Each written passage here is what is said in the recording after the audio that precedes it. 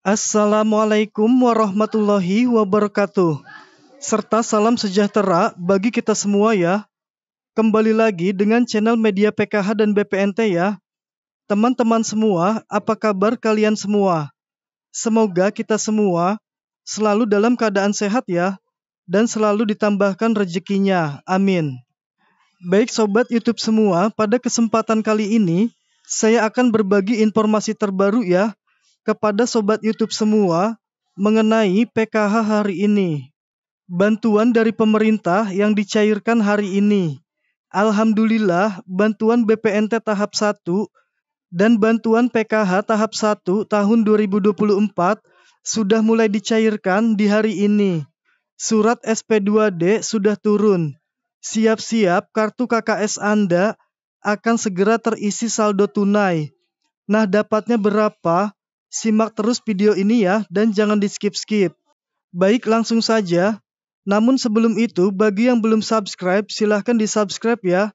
Dan berikan jempol like-nya jika dirasa informasi ini bermanfaat. Nah, kita ke poin pembahasannya. Ada kabar bahagia hari ini bagi para KPM PKH maupun KPM BPNT, baik penerima lama dan baru, yang sedang menunggu bantuan PKH tahap 1 tahun 2024 dan BPNT tahap 1 tahun 2024 dicairkan dari Kemensos. Nah, kira-kira ini saldo bantuan apa saja ya? Apakah ini saldo PKH tahap 1 atau BPNT tahap 1? Ataukah ini saldo bantuan El Nino? Mari kita simak bersama-sama. Nah, berikut ini daerah-daerah dan Bank Himbara yang disalurkan bantuannya pada hari ini yang sudah mulai dicairkan. Baik langsung saja yang pertama Alhamdulillah BPNT murni KKS tahun 2021 sudah cair. Nah ini terlihat ya ada saldo yang masuk Rp200.000 untuk kartu KKS Bank BRI. Untuk daerah Dusun Baka, Desa Baka, Kecamatan Masamba. Nah selanjutnya ada lagi KPM yang sudah cair ya. Alhamdulillah sudah cair wilayah Kalsel, Kalimantan Selatan. Nah ini terlihat ada saldo yang masuk ya, Rp950.000. Nah berikutnya, Alhamdulillah bun, ternyata benar ada pencairan malam ini, cuma Rp200.000. Tetapi disyukuri aja, mudah-mudahan BLT mitigasi pangan CPT tersalur juga, amin. Nah ini ada saldo yang masuk di kartu KKS Bank BRI Rp200.000. Nah, jadi itulah ya dikabarkan bantuan PKH tahap 1 tahun 2024 ini sudah mulai dicairkan ya. Dan tentunya ini secara bertahap ya, tidak secara serentak.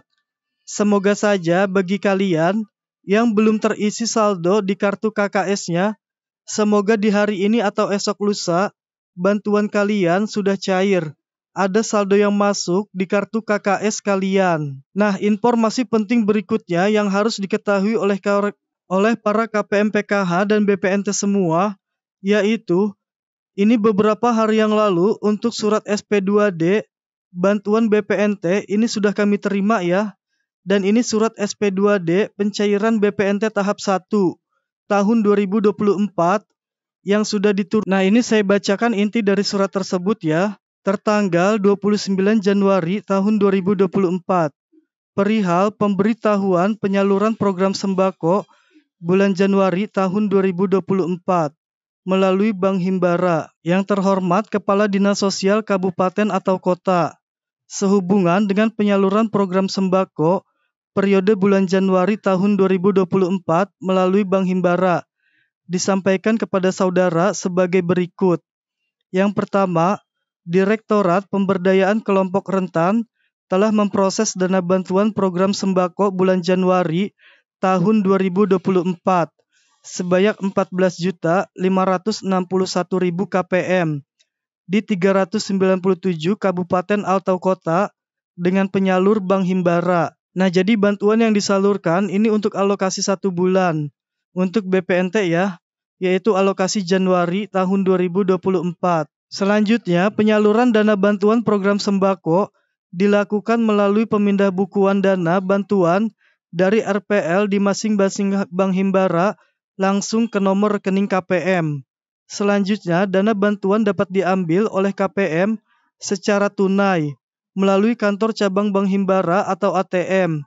Dibelanjakan untuk pembelian bahan pokok sesuai kebutuhan KPM. Nah, jadi itulah surat SP2D pencairan PKH BPNT yang sudah diturunkan dari pusat. Nah, semoga informasi ini dapat bermanfaat bagi kita semua ya, dan bantuan kalian segera dicairkan.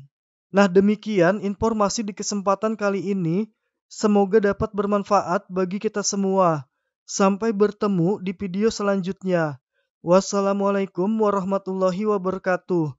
Dan salam sejahtera bagi kita semua.